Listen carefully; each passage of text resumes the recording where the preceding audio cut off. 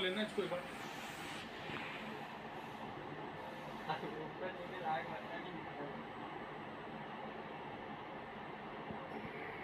और हम मार।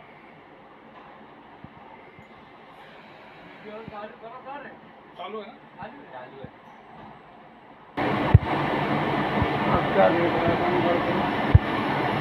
ये तो चीज़ देखने वाली।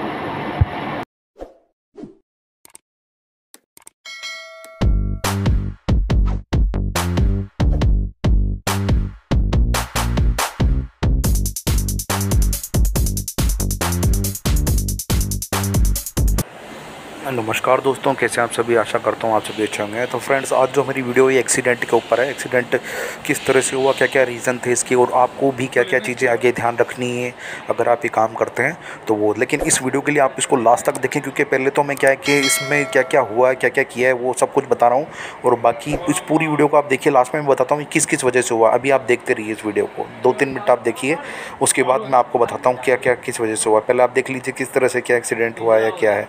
फिर इसके रीज़न मैं आपको बताऊँगा। और हो गया दूसरा हो गया हाँ? नहीं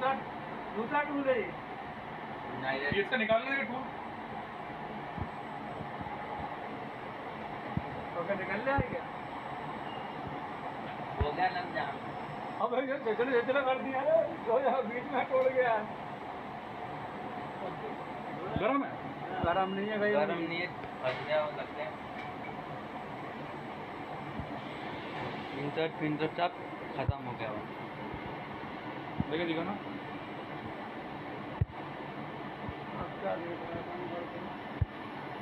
ये तो चीज़ देखने वाली जब सड़क ही गया सीधा करके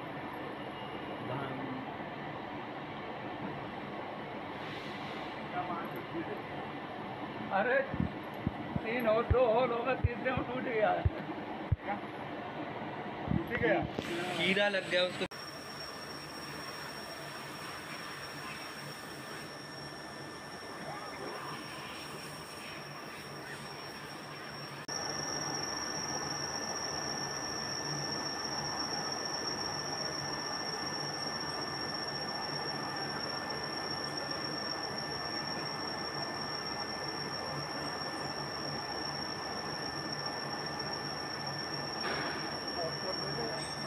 दिक्कत आ जाएगी। मेरी गलती समझेगा।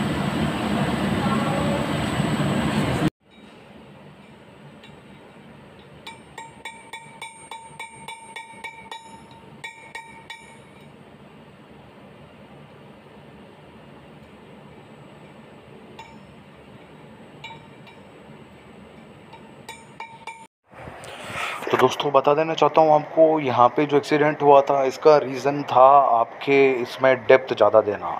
अगर आप क्या है कि किसी भी मेटल के ऊपर कोई अगर आप टूल चला रहे हैं और उसमें आपको क्या है कि डेप्थ का हिसाब पता नहीं कि आपको किस हिसाब से डेप्थ देनी है तो ये भी एक एक्सीडेंट का बहुत बड़ा रीज़न हो सकता है, क्योंकि क्या है कि ऑपरेटर इस चीज़ का ध्यान नहीं रखेगा।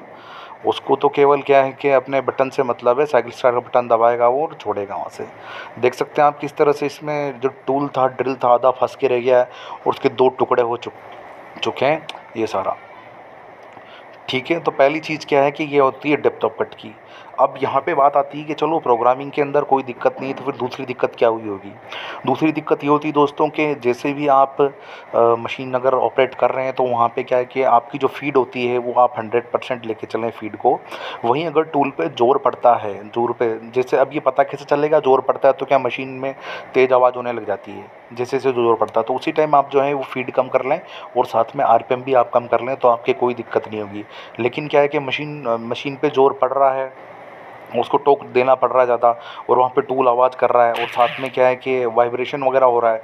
तो अगर आपने उसमें, उस कंडीशन में आपने फ़ीड और स्पिंडल स्पीड कम नहीं की तो टूल टूटने के चांसेस हो सकते हैं और एक बड़ा एक्सीडेंट हो सकता है जो कि यहाँ पे हुआ है दोस्तों।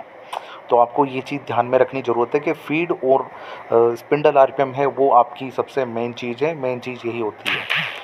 और बता देना चाहता हूँ कि फ़ानू की मशीन में आपको बस जो वाइब्रेशन होगा, मशीन के अंदर जो नोकी होंगी, उससे आपको पता लगेगा। बाकी आपको पता नहीं लगेगा। बाकी अगर सीमेंस कंट्रोल जो होता है तो उसमें आपने स्क्रीन पे जब आप देखते हो तो स्किंडल स्पिंडल पे क्या है कि 50 परसेंट और 100 परसेंट की स्पीड दी होती है। 50 परसेंट स्पिंडल स्पिंडल की। तो वहाँ पे 50 परसेंट के आसपास अगर आने की कोशिश करें, वहाँ पे तो आप देख सकते हैं कि वहाँ पे पचास परसेंट तक वो ना पहुँचने पाए तो उसको आप वहीं पे कम कर दीजिए दोस्तों। तो आशा करता हूँ ये वीडियो आपको अच्छी लगी, इसको अच्छी लगी तो इसको लाइक करें शेयर करें कमेंट करें, अपने दोस्तों तक बताएँ। और क्या है कि इंडस्ट्रियल व्यू आपको पूरा दिखाया जाता है इंडस्ट्री के अंदर किस तरह से प्रोग्रामिंग होती है, किस तरह से ऑपरेशंस क्रिएट होते हैं, किस तरह के एक्सीडेंट्स होते हैं, सारी चीज़ें आपको यहाँ पर बताई जाती है।